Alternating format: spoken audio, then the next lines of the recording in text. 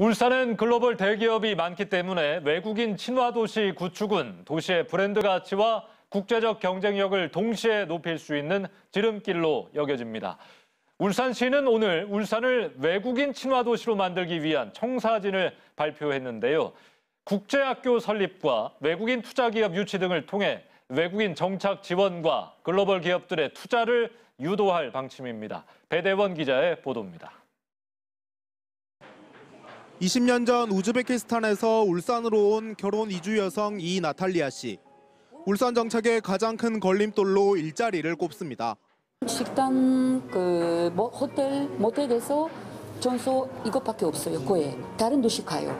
월급 때문에 온산 가요, 그 인천 가요, 견주 가요.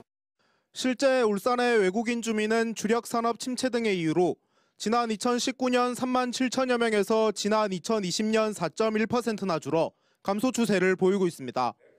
이에 울산시는 국제적 경쟁력을 높이기 위해 외국인 친화 도시 구축에 나서기로 했습니다.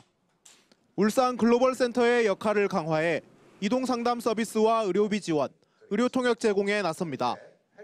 또 자녀와 함께 거주하며 근무할 수 있도록 국제학교 설립을 추진하고 외국인 노동자 지원센터 설립, 도시 기반 시설의 외국어 표기를 확대합니다. 특히 부유식 해상풍력 등 미래 신산업 전환에 필수적인 중소규모 외국인 투자 기업 유치에도 적극 나섭니다. 지역 경제 활성화를 위한 중소기업의 외국인 투자 기업을 유치하려면 단지형 외투 지역 지정이 반드시 필요합니다.